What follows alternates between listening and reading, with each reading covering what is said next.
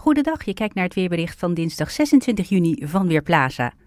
Het was vandaag een fraaie junidag met een afwisseling van zon en wolken.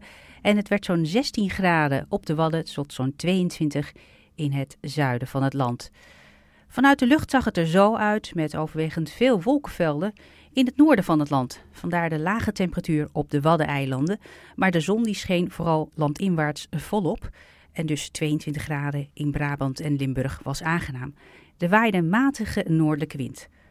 Voorlopig blijft een hoge drukgebied boven de Noordzee het weer in onze omgeving bepalen. De stroming zal wel geleidelijk aan naar het noordoosten gaan draaien en dus komt er warme lucht onze kant op. Vanavond koelt het wel af naar zo'n 18 tot 22 graden landinwaarts. Op de Wadden en vlak aan zee is het iets frisser met 15 tot 17 graden. De wind die zwakt geleidelijk aan af en draait geleidelijk naar het noordoosten. Vannacht drijven vanuit het noorden wat wolkenvelden over.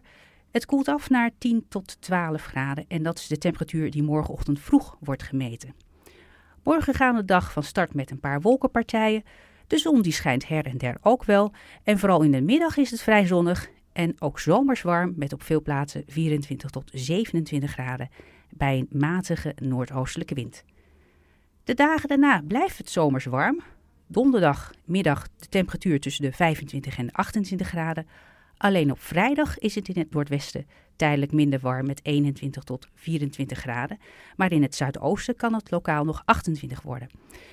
Op zaterdag keert de zomerse warmte overal weer terug en hebben we temperaturen van 25 tot 29 graden.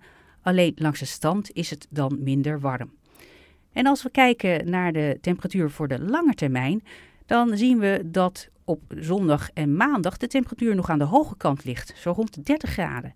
Maar volgende week gaat het kwik geleidelijk aan weer omlaag.